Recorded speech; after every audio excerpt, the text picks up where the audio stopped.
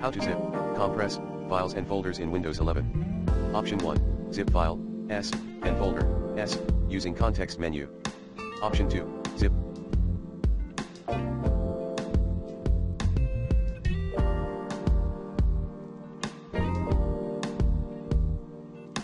File, S, and folder, S, using send to context menu.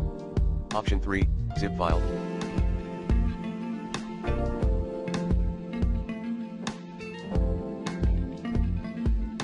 S, and folder, S, using File Explorer command bar. Option 4, zip file.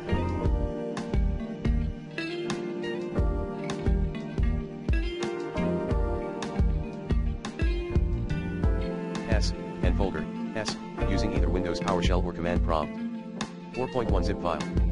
Command, PowerShell compress archive path full path of file destination path full path for zip.zip. 4.2 zip folder with all its files and subdirectories. Command, PowerShell compress archive path full path of folder destination path full path for zip.zip. 4.3 zip only all files and subdirectories in a folder. Command, PowerShell compress archive path full path of folder backslash asterisk destination path full path for zip.zip. 4.4 zip only all files in root directory of folder. Command, PowerShell compress archive path full path of folder backslash destination path full path for zip.zip.